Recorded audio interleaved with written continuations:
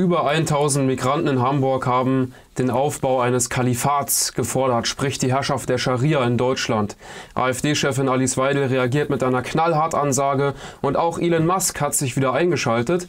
Bei uns erfahren Sie die neuesten Entwicklungen. Außerdem erfahren Sie, wie diese Kalifat-Demo in Hamburg jetzt als rechtsextrem geframed werden soll. Das ist der Brennpunkt des Tages. Jetzt geht's los.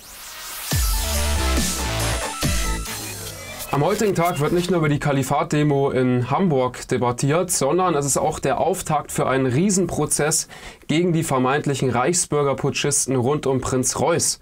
Und zwar in Stuttgart-Stammheim, also dort, wo einst auch die Rote Armee-Fraktion vor Gericht stand.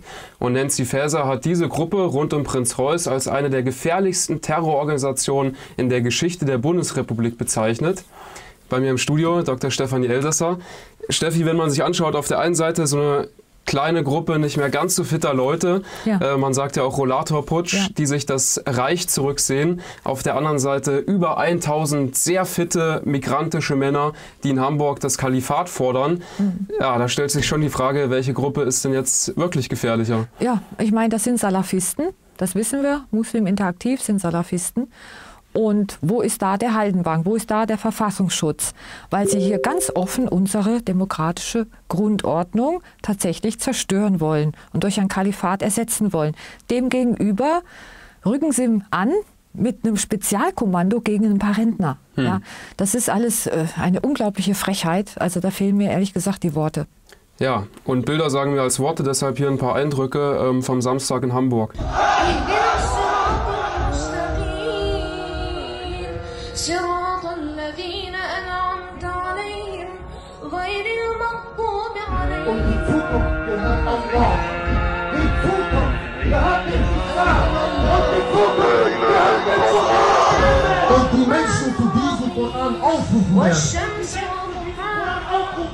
Dass ich mich für die Umsetzung und Praktizierung des gesamten Koran in allen Lebensbereichen einsetzen werde dass ich den Koran als Führung für mein Leben nehmen werde. Dass ich den Koran als Führung für mein Leben nehmen werde. Dass ich dem Koran nicht den Rücken kehren werde. Dass ich nicht dem Koran den Rücken kehren Dass werde. ich mich den Feinden des Koran in den Weg stellen werde. Dass ich mich den Feinden des Allah! Helfe unserem Versprechen nachzukommen. Ja, so sah das Ganze aus und hier hat man es nochmal im Bild. Kalifat ist die Lösung, steht da auf Plakaten, die ja. wirklich nicht nur einmal hochgehalten worden sind, sondern auf der gesamten Demonstration. Also das war eigentlich das Motto der mhm. Demonstration, kann man sagen, das inoffizielle. Und ähm, du hast den Verein genannt, der hinter dieser mhm. Demo steht, Muslim Interaktiv. Der Witz ist ja, dass die Altparteien die Chance gehabt hätten, diese Demo zu verbieten, ja. nämlich indem sie einem Verbotsverfahren gegen diesen Verein zugestimmt hätten in der Hamburger Bürgerschaft. Ja. Aber der Antrag dafür wurde von einer Mehrheit der Leute dort abgelehnt, nämlich von einer Mehrheit aus Grünen und SPD. Ja. Deswegen tragen die Altparteien ganz klar die Schuld für diese Zustände. Ja. Der Antrag wurde eingebracht von der CDU, aber die ist natürlich auch mitschuldig, weil wir wissen alle, Merkel hat die Grenzen aufgerissen ja. und die CDU wirbt ja auch äh, mancherorts äh, mit Arabisch auf Wahlplakaten. Das heißt, die Parteien, die spekulieren ja damit, ähm, dass die Migranten irgendwann eine äh, große demokratische Macht haben bei Wahlen und versuchen jetzt schon ja. diese Gruppen gezielt auch anzusprechen mit der Wahlwerbung und so weiter und so fort und natürlich auch, indem sie deren Interessen bedienen. Ja, das fing aber schon 1999 an mit dem Doppelpass. Da habe ich mal nachgeschaut, weil anders ist das nicht zu erklären, es sei denn mit Masochismus. Ja. ja. Und äh, wie gesagt, wir sind tolerant. Wir sind ein säkularer Staat. Religion und Staat sind ganz klar voneinander getrennt. Und Religion hat überhaupt keine politische Bedeutung hier. Die können gerne Kalifat machen, aber bitte ganz privat oder in ihren eigenen Ländern, aber nicht auf deutschem Boden. Ja, das ist unmöglich. Absolut. Und ich habe da mal geschaut äh, mit dem Doppelpass. Das war 1999, auch unter Rot-Grün wurde vorangetrieben. Roland Koch, der damalige Ministerpräsident von Hessen, hat die Wahlen gewonnen, indem er sich dagegen gestemmt hat. Nein zum Doppelpass. Und laut Innenministerium wohnten hier im Land im Jahr 2020, aktuellere Zahlen stehen heute da nicht auf der Homepage des Bundesinnenministeriums, 5,6 Millionen Moslems.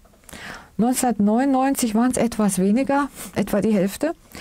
Und da hat äh, Rot-Grün ausgerechnet, dass 80 Prozent der Moslems eben SPD oder Grüne wählen würden. Die CDU, die konservativen Parteien eher weniger. Also sie sehen einfach auch in den muslimischen Mitbürgern ein riesen Wählerpotenzial. Aber äh, meiner Meinung nach ist das falsch kalkuliert, weil irgendwann werden sie ihre eigene islamistische Partei äh, aufmachen und die dann auch wählen. Ja? Und dann verlieren sie diese Wähler auch. Ja, wir können mal reinhören in eine weitere Rede vom Samstag. Ja. Deutschland, Politik und Medien, ihr alle solltet euch wohlbedacht positionieren gegenüber den Muslimen, gegenüber dem Islam und gegenüber Allah. Denn wenn die Karten neu gemischt werden und der schlafende Riese wieder erwacht, werdet ihr für das, was eure Hände vorausgeschickt haben, zur Rechenschaft gezogen! Das rechtgeleitete Kalifat!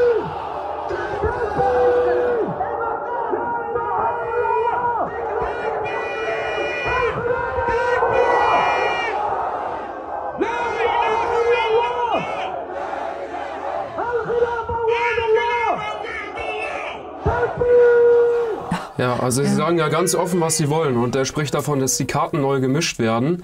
Was heißt das übersetzt? Es ist eigentlich der Bevölkerungsaustausch. Ja? Die äh, Gruppen werden neu gemischt. Es gibt eine fremde ethnische Mehrheit und ja. diese ethnische Mehrheit wird sich durchsetzen, indem sie, wie du gesagt hast, dann eigene Sprachrohre schafft, eine eigene Partei vielleicht.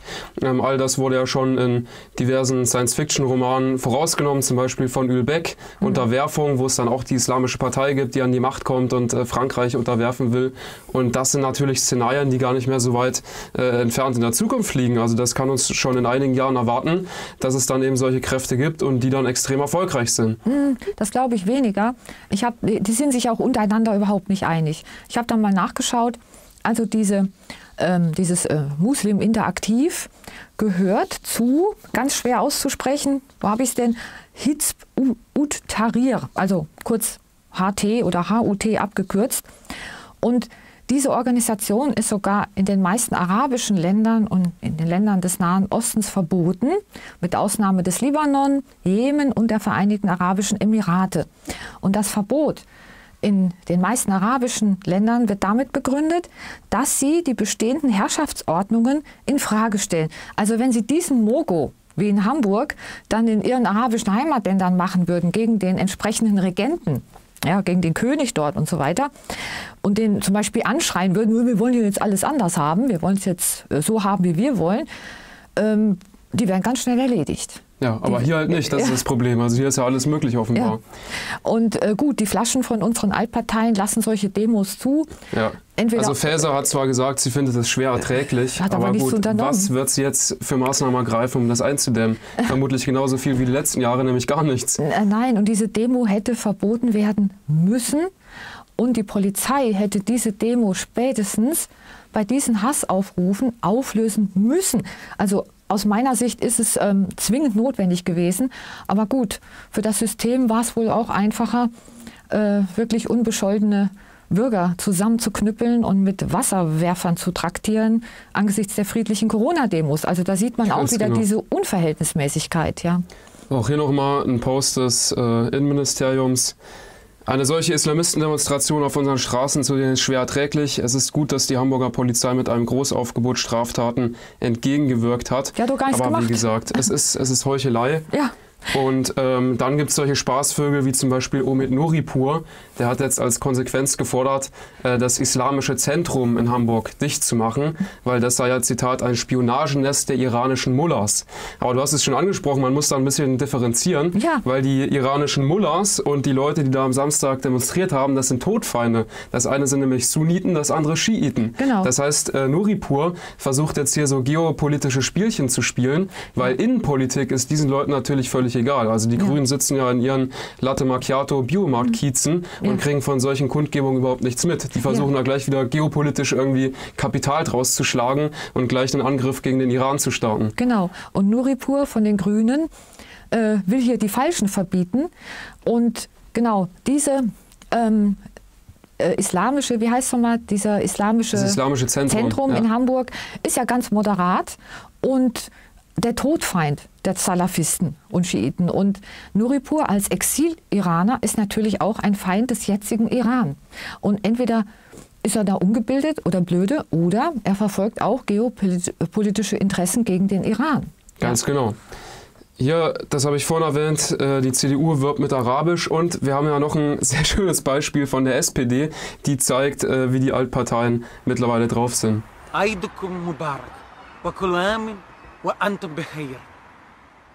Bayram Sherif Mubarak Olson. Euch allen ein glückliches, gesegnetes Zuckerfest. Also so sieht dann die knallharte Leitkultur ja. aus, ja mit dem man sowas eindämmen will. Ja. Alice Weidel hat sich zu Wort gemeldet auf Facebook. Im Deutschland der AfD würden wir nicht über ein Kalifat, Einbürgerungsturbos und das Versagen der Ampel, CDU oder Faeser diskutieren, sondern über Grenzschutz und Abschiebungen. Richtig, ja. Also hier eine knallharte Ansage.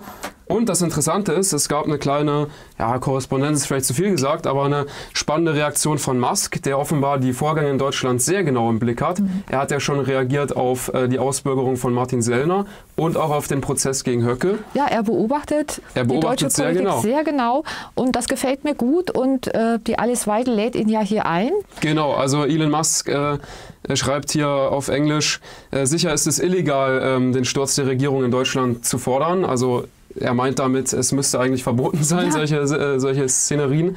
Und Alice Weidel reagiert, indem sie sagt, das ist nur eine von vielen bedenklichen Entwicklungen in Deutschland. Fühlen Sie sich eingeladen, zu mir ins Büro zu kommen, nach Berlin? Dann können wir über so etwas im Detail diskutieren. Naja, wenn der Elon Musk das nächste Mal seine Fabrik besucht, da in Grünheide, ja. kann er ja auch mal kann kurz nach Berlin fahren. Ja, ist ja nicht so weit weg. Genau, ist nicht weit weg. Und wir können jetzt noch reinhauen in eine unfassbare, ähm, eine unfassbare Interpretation der Tagesschau. Und zwar wird da Folgendes gesagt. Diese Kalifat-Demo wird dann wirklich als rechtsextrem geframed. Nach einer Islamistenkundgebung in Hamburg haben die Bundestagsfraktionen härtere Maßnahmen gefordert. Innenministerin Faeser sprach sich für unverzügliches, hartes Handeln aus. Am Wochenende hatten rund 1000 Menschen die Einführung eines Kalifats in Deutschland gefordert und die Politik als islamfeindlich kritisiert. Die Organisatoren stehen einer vom Verfassungsschutz beobachteten rechtsextremistischen Gruppe nahe. Stehen einer vom Verfassungsschutz beobachteten rechtsextremistischen Gruppe. Na, das muss ja. man sich mal vorstellen. Mit dieser Gruppe ist Muslim interaktiv genau, äh, gemeint. Ja. Das ist jetzt auch eine Nazi-Vereinigung. Ja. Also mittlerweile ist ja alles rechtsextrem, äh, was irgendwie ein bisschen gruselig aussieht. Das ist unfassbar. Das ist der, der Sprecher von Muslim Interaktiv. Ähm, wollte ich noch kurz drüber sprechen, weil das ist eine ganz interessante Figur. Boateng heißt der, wie der Fußballspieler.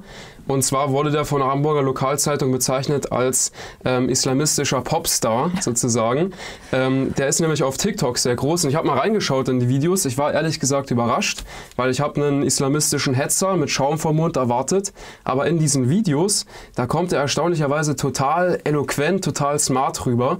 Und ich habe mich sogar dabei ertappt, Steffi, wie ich vieles von dem, was er gesagt hat, äh, gar nicht so falsch fand. Also er sagt da zum Beispiel, äh, der westliche Liberalismus, ähm, der zerstört die traditionellen Geschlechterrollen, also sprich diese ganze Vogue-Kultur, diese ganze Gender-Wahn wird von ihm kritisiert. Ähm, dann sagt er auch, dass äh, der westliche Liberalismus Traditionen zerstört, Werte kaputt macht, Identität kaputt macht. Auch das ist ja nicht falsch. Er kritisiert die Bundesregierung dafür, dass es sich israelische Interessen auf die Flagge schreibt. Ähm, der einzige Haken an der Sache ist halt, dass, dass es ohne den westlichen Liberalismus, den er da ständig kritisiert, ja gar keine islamische Kultur in Deutschland gäbe, weil der Islam hier einfach keine Wurzeln hat. Der Islam ist hier nicht beheimatet. Ja. Der Islam wurde hier reingespült äh, durch diese Politik der Weltoffenheit und Grenzenlosigkeit. Und jetzt wollen diese Leute hier einen Scharia-Staat errichten auf deutschem Boden. Das gehört hier nicht hin. Ein Kalifat hat hier auf deutschem Boden nichts verloren, weil es ja. hier einfach keine Heimat hat. Die können das meinetwegen in ihrer Heimat machen, weil da hat das Ganze Wurzeln. Das wäre der identitäre Ansatz, aber nicht hier in Deutschland, wo das ein Fremdkörper ist. Es ist ein Fremdkörper. Ja, aber auch aus christlicher Sicht gibt es zwei Geschlechter und aus christlicher Sicht äh, ist man auch gegen diesen ganzen Vogue-Wahnsinn und äh, Schwachsinn und Gender-Schwachsinn und so weiter. Ich meine, ich komme ja aus christlichen Verhältnissen. Mein Großvater war evangelischer Pfarrer und ich höre doch die Kirchenglocken lieber als den Ruf des Muezzin.